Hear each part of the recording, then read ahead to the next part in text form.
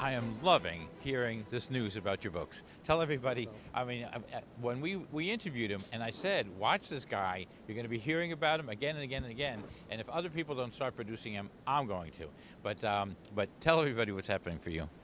So um, I write young adult novels, and um, I'm actually a you know, young adult is confusing to some people. Because that sounds like, you know, okay, but so go ahead. Um, I'm also a guidance counselor. Um, that I work with high school students with special needs, and as a, I'm also a former professional magician. So um, I teach my students magic, and I used, I used a lot of this in the books. I wrote a series called The Witches of Vegas, which is about a family of witches and a vampire mentor um, who, um, sorry, uh, sorry about that, um, who hide in plain sight as magicians on the Vegas Strip and they run a whole show where it's actually them practicing with their magic, which is great for them, but not so great for the other magicians in Vegas. And everything comes to a head both for the magicians of Vegas and for the, this group of witches when, the, when someone from the vampire's past shows up into Vegas and, and causes some chaos. Um, the book was very popular, it won the RONE Award. Um, since then, there were two more books in the series Journey to New Salem. I'm sorry, sorry. Um, I, I'm sorry to interrupt him, but uh, tell him what the Rona Award, Award is. It's very RONE prestigious. Award, which is recognition of novel excellence. It's a award mostly for independent authors and books that are nominated every year. They go through InD'tale magazine, which is a well-known magazine in the industry.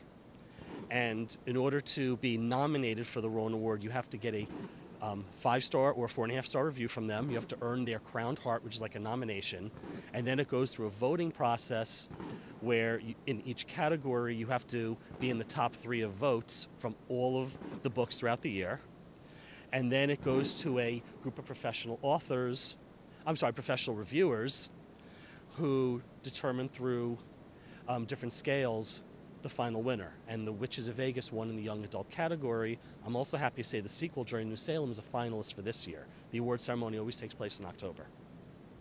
in the film industry, if you wanted to get a, a, a series or something onto Netflix, you'd write a script and you submit it to a, um, a- a reader for Netflix, and they, get, and they give you what's called coverage. They cover it for you and they give you a review of it.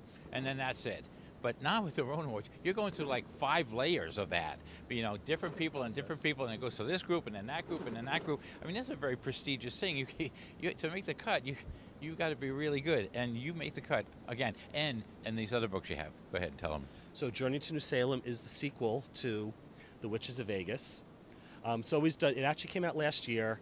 The Witches of Vegas came out the year before. It's always the Rona Award's always one year, you know, past when the books came out. And then this year, the third book, which is Gamble, which involves, which is my original story in time travel and alternate realities, came out this year. And since then, I was actually contracted through the Wild Rose Press, my publisher, for two more books. One of which I've actually submitted. The third, the fifth one, I'm in the process of writing as we speak.